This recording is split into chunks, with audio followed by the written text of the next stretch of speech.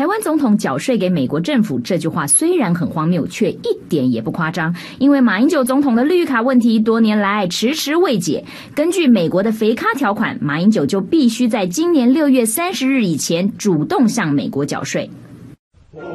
美七一追税砍向马英九，台湾总统要向美国纳税。第五招上传完成申报。五月是台湾人忙报税的时候，但马英九现在更头大的可能是他还得缴美国的税。根据美国目前在全球铺天盖地追税所适用的外国账户税收遵从法，也就是俗称的“肥咖条款”，今年七月一日起，外国金融机构就必须将具有美国籍或绿卡的客户账户资料提供给美国国税局。而马英九的绿卡虽已过期，但他从未正式宣告放弃，依法就必须申报纳税。本刊为求证马英九的绿卡身份是否符合美国国税局 IRS 的查税对象，特别以马英九的资料向 IRS 网站的国际服务巡查，结果隔天就收到 IRS 来信证实，根据肥咖条款，马英九必须向 IRS 报税的答案是肯定的，因为在 IRS 所回复的判定绿卡是否有效的三原则里，马英九的绿卡并未失效。第二呢，关于绿卡的问题。我在一九七七年左右，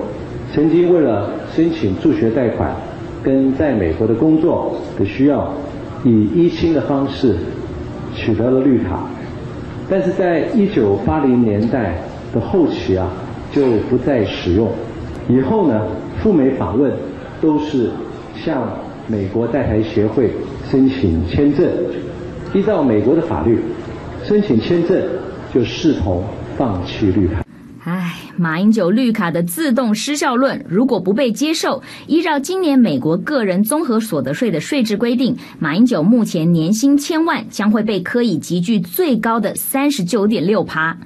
马英九薪资入账的台湾银行也确定会配合美国，从七月一日起开始提供账户资料。而如果马英九现在想放弃绿卡，也必须缴一笔弃籍税。根据马英九的最新申报资料，他的存款高达七千万元，已符合缴税条件。也就是说，不论马英九要不要理会他的绿卡问题，他缴税给美国政府已是确定的。而且马英九的资产中，除了薪水，还有一票三十元的选举补助款，这每分每毫都来自台湾人民的纳税钱，现在却要被马英九部分上缴给美国，实在令台湾人情何以堪。